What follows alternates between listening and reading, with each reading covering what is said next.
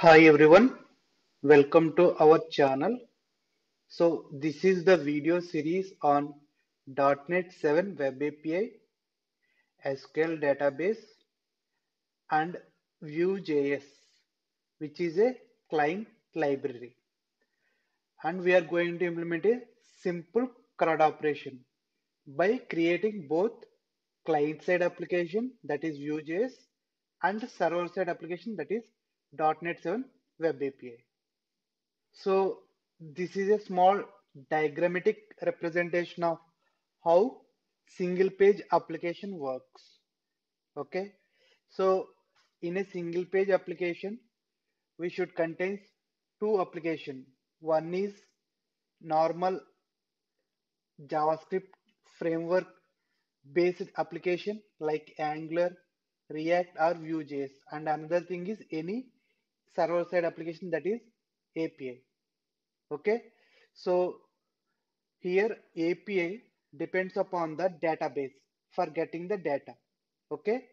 And client application, nothing but a JavaScript application or Vue.js application depends upon API to display the data to the client. Okay.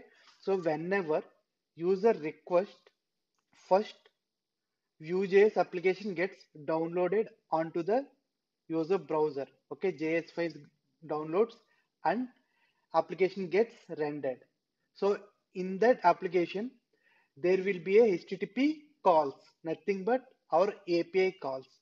So Java Vue.js application will invokes the API call and that API call internally communicates with the database and fetches the data from the database and return that response to the Vue.js application. Then that response gets rendered onto the UI. Okay, so that is the flow of single page application using API. Okay, so first let's try to set up the database. Okay, so for this demo we are using Microsoft SQL database. Okay, search like SQL Server download and click on the top link. And we are redirected back to this page.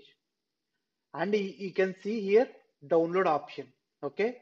So choose for developer uh, download setup file okay? Once download it and install the SQL server file okay? So this, this will provide only server uh, SQL server, database server in our system okay? So to interact with the SQL server, we need to have a nice IDE, integrated development environment. Okay. So for that, Microsoft providing SSMS, SQL Server Management Studio, which is a nice IDE for communicating with the SQL server. Okay. Okay. Such like SQL Server Management Studio download okay and click on the top link. So in short term we can call it as ssms which is a sql server management studio which is a rich ide for interacting with the sql server database. And here you can see the download option or the download setup link here. Once you click on the link the setup file gets downloaded and try to install it okay? Since i already installed SQL Server and SSMS.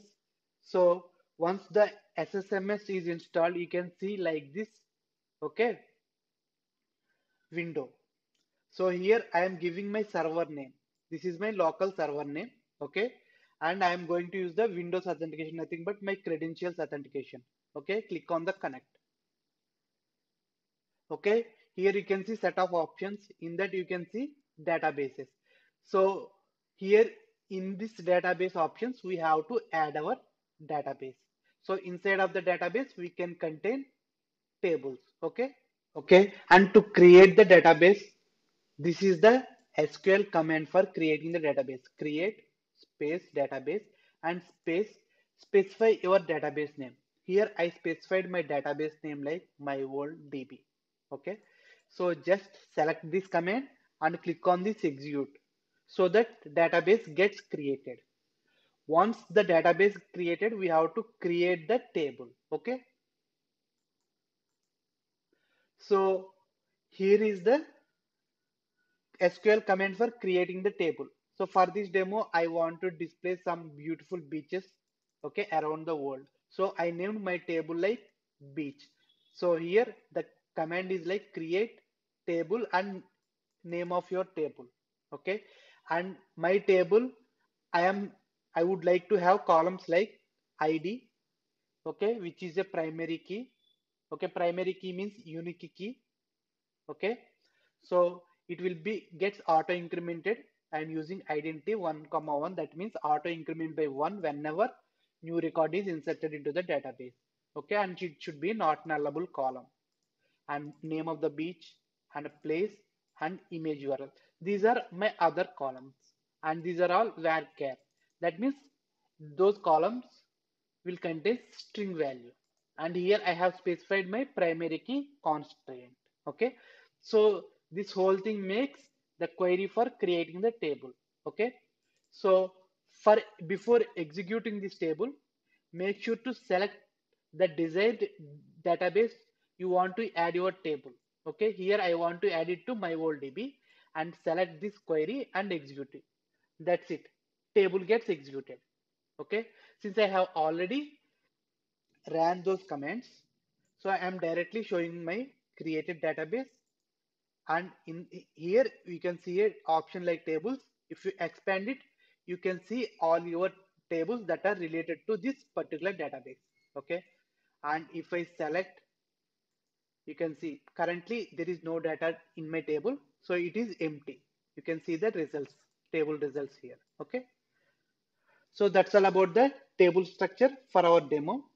Next we are going to create the vue.js application